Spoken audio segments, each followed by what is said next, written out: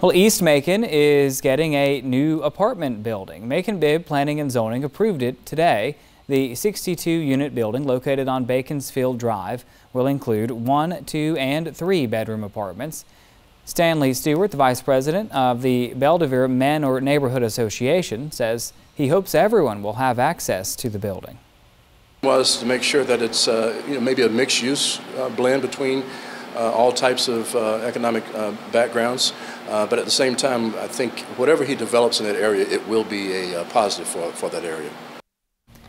Now, the head of the project, Ashok Patel, said during the planning and zoning meeting he expects the building to be complete within nine months.